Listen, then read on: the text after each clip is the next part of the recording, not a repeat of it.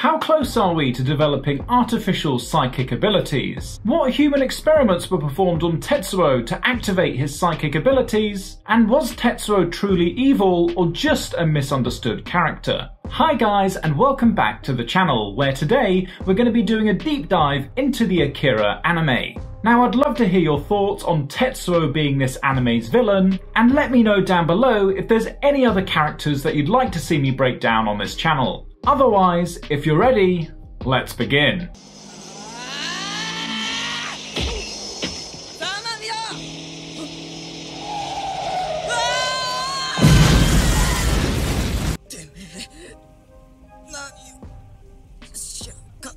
So here we meet Tetsuo, one of the main protagonists of this series. He's an orphan delinquent and a member of a biker gang trying to gain territory in Neo Tokyo. And here we see him collide with one of the Espers in the series who have psychic abilities, hitting his head in the process. And it's this fateful encounter and head injury that changes Tetsuo's life forever, activating his own latent psychic abilities. And I like how it's a collision that sets off the chain reaction of this story. As surprisingly, there's been many cases where people have either sustained head injuries or had a stroke and ended up with almost superhuman abilities. These have included cases where people have become math geniuses, language learning experts, and even those who've developed dexterity skills and become master sculpturers. Really, there's just so many mysteries that we don't know about the human brain.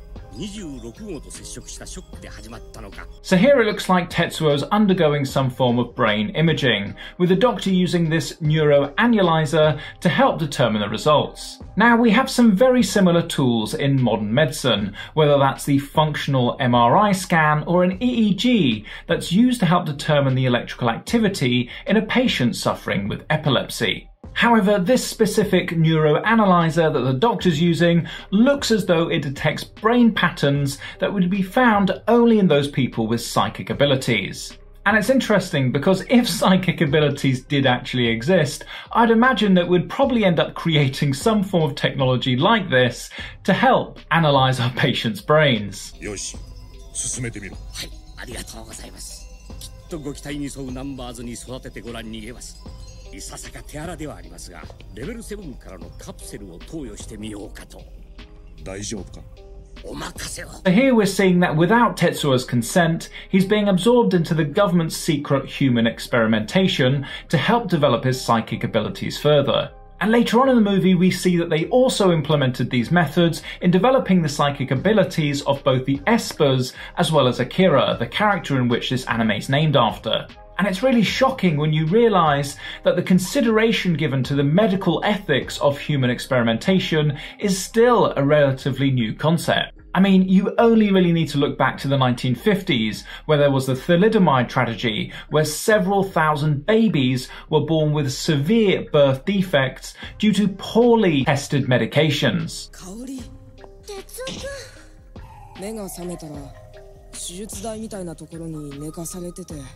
その検査ってのがこう頭の中をいじられてるみたいで So here we can see that Tetsuo has escaped the government's captivity as he meets up with this girlfriend character, Kaori. And here he describes how during the experiments he was confined to an operating table. This, combined with the bandages that we see wrapped around his head, you've got to assume that he's undergone some form of brain surgery to help to enhance his psychic abilities. Now, although there isn't any scientific evidence that psychic abilities exist, are we getting any closer with our medical advancements? Well, yes, we are. For example, we now can implant chips into people's brains that allow them to communicate through either texting or using a computer. And really, if you can imagine a futuristic environment where everything is working on a smart technology system, then being able to control things with your mind isn't that far-fetched of an idea. What do you guys think?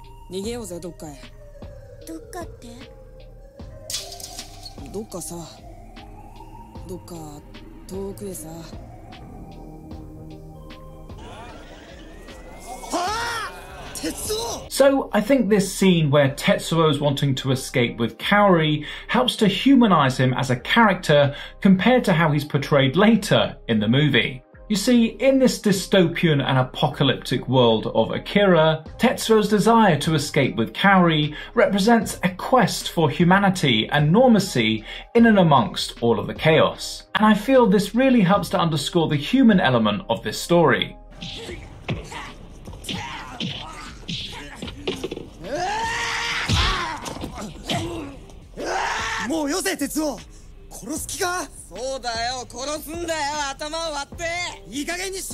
So here we see Tetsuo exacting his revenge against a rival gang member who assaulted his girlfriend Kaori. And Kaneda has had to step in to stop him from killing him. And Kaneda recognizes that this seems to be a different Tetsuo from his usual measured self. Could this be down to the experimentation he's had on his brain? You see, the frontal cortex is the part of the brain that's involved in decision making as well as your motor movements. And so, if I was a doctor looking to enhance your telekinesis psychic abilities, this is probably the area that I'd be focusing on. However, interestingly, it's also the part of the brain that helps to regulate your emotions, and so a dysfunction in this area could contribute to you being more impulsive, as well as having more erratic and unexpected behaviors and even emotions, like what we're seeing Tetsuo exhibit here.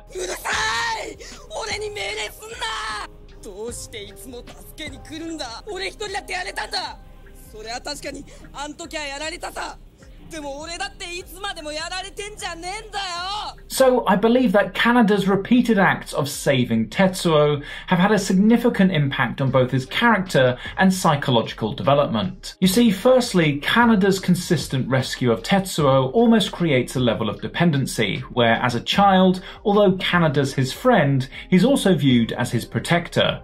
And as Tetsuo's psychic abilities develop, the recurring presence of Kaneda almost acts as a reminder of his previous inadequacies, with him developing an almost inferiority complex. And I believe it's this that fuels his need to prove and demonstrate his now superior powers. おい待てどこ行くんだ?アキラそんな奴は知らん!ああ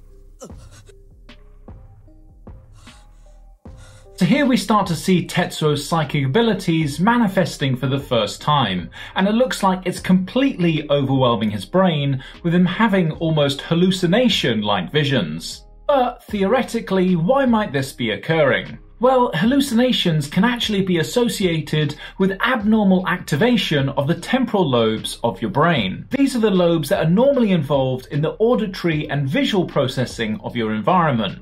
And so I wonder whether Tetsuo's psychic awakening is causing a hyperactivation of this part of the brain, leading to a distortion of his perceptions and even these hallucinations.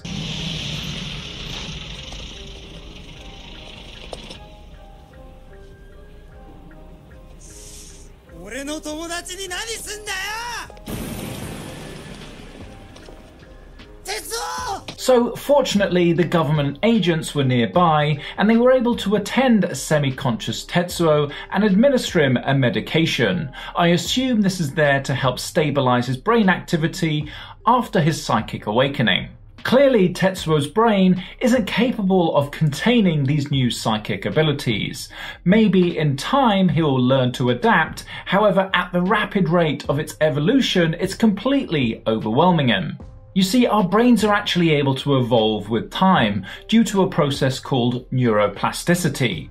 This is the process by which new neuronal pathways are able to form in the brain in response to a new stimulus, allowing you to learn new skills, for example, playing an instrument or learning a new language.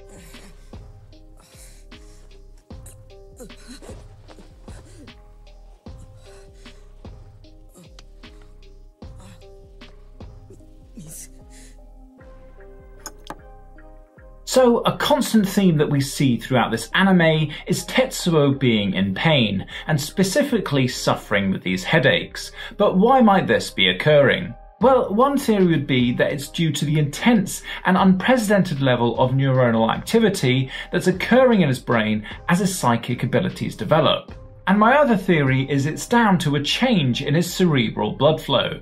You see, as the brain works more, it requires more nutrients and oxygen, and therefore the blood supply to the brain must change.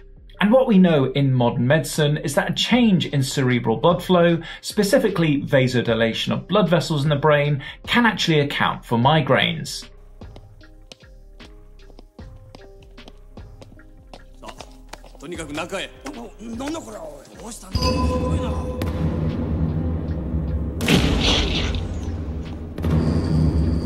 Oh gosh, what a way to go, getting completely crushed by Tetsuo's psychic waves. I wouldn't want to have been a doctor working in that hospital ward.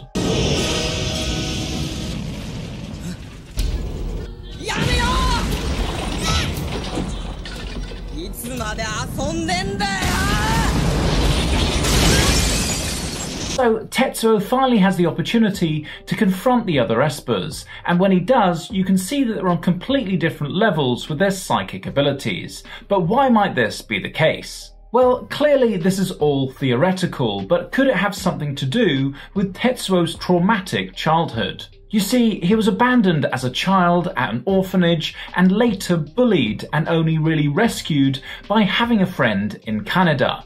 Whereas the Espers, on the other hand, are shown to be a collective group of friends that were brought into the government's secret experimentation. Was it the fact that Tetsuo had deep seated issues with being abandoned, rejection, and feelings of inadequacies that made him go on to develop more violent and aggressive abilities? As we often see that some of our most talented of champions in the real world come from tortured pasts.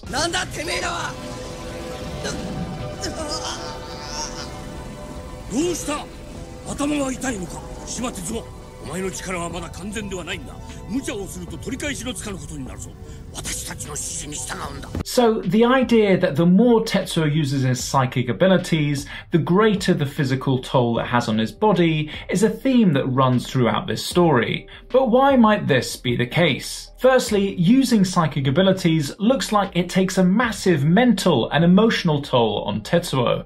Even the act of manipulating and controlling psychic energy, particularly when done at high levels and with intense emotions, looks completely exhausting and over the long term could contribute to fatigue and stress. Also, as we spoke of earlier, Tetsuo's body has inherent biological limitations, with being able to take the strain from using his psychic abilities.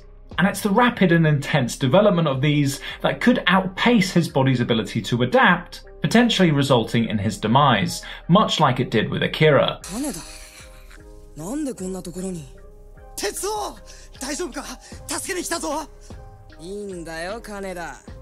俺はもうお前に助けてもらわなくってもいいんだよこれからは俺がお前を助けてやる So here it appears as though Tetsuo is beginning to exhibit signs of a god complex, especially as his psychic abilities begin to develop and he becomes more in control of his environment and the people around him. Developing such a complex can often give people a sense of superiority, and they can often end up lacking empathy for others and having a willingness to try and control people. And it looks like it's most targeted towards Kaneda, possibly due to their dynamic of rivalry and control, with Tetsuo now trying to assert his dominance.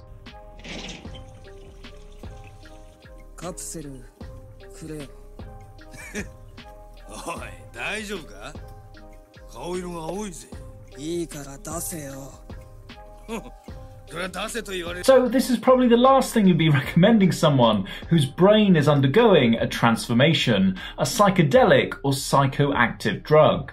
Especially when bought off the street, these can have unpredictable dosages within each tablet, meaning that it can have an unpredictable impact on your brain. And for someone who's going through a mental transformation, this could cause them to lose touch with reality. And with my understanding of the manga, Tetsuo goes on to develop a dependency on this medication later on in the story. And it's this dependency that contributes to his overall descent into a more unstable and erratic state.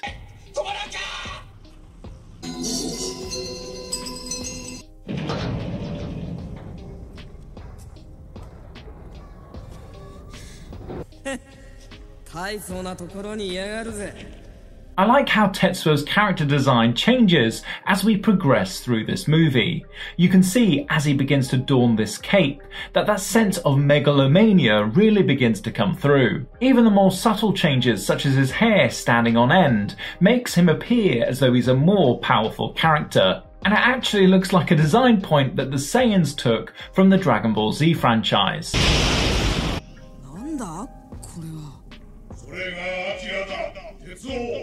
その体はありとあらゆる技術で調査実験を受けそしてその慣れの果ての姿がそれだ So Akira's form is that of several vials that looks like they've been kept in a cryogenic capsule. And I guess the idea is that the cryostasis is there to help preserve Akira's cells until technology has advanced to a point where scientists are better able to analyze his powers. Again, the whole idea of human experimentation as a doctor, particularly on children, is just sickening.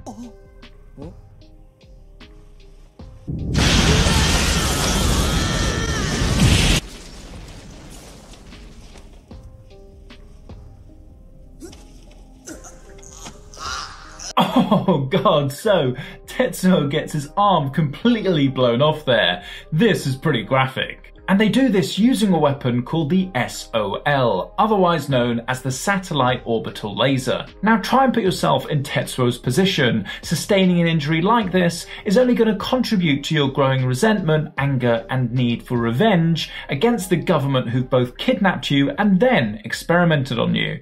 We've got to remember that before all of this happened, that Tetsuo was just a teenager who was probably enjoying aspects of his life, whereas now he's public enemy number one, and there's no way of going back to that way of life.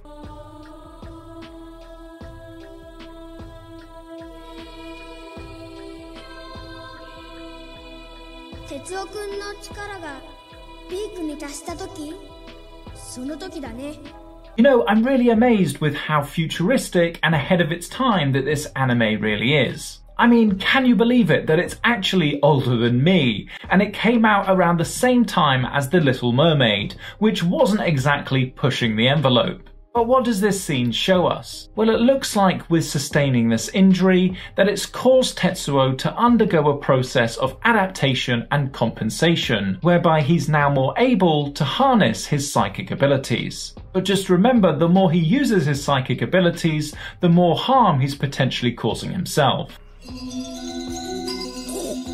れが。うん貴様わしがあれほどしかしあのような素晴らしい実験体をみすみす。ね So here we can see that this doctor had continued to experiment on Tetsuo, despite seeing the impact on his psyche and physical health and being advised to proceed with caution. Why is there always a mad scientist behind every great villain? I now understand why people don't trust their doctors.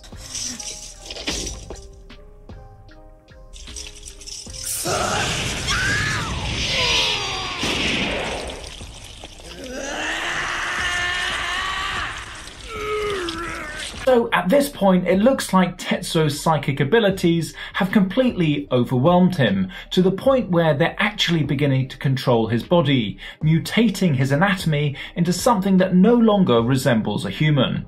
You know, maybe this is actually a metaphor that symbolizes the decay of Tetsuo's humanity, as well as the corrupting nature of unchecked psychic powers.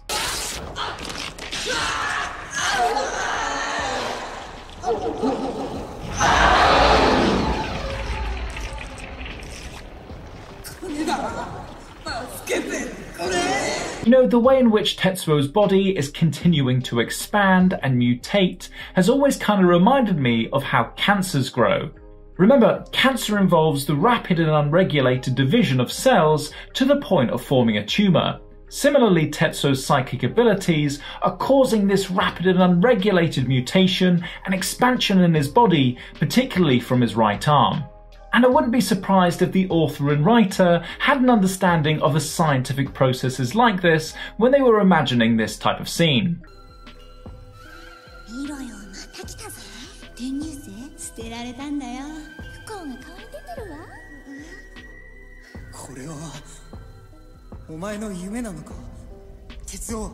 You know, at the end of this story, although Tetsuo had killed and become a bit of a monster, I kind of feel sorry for him.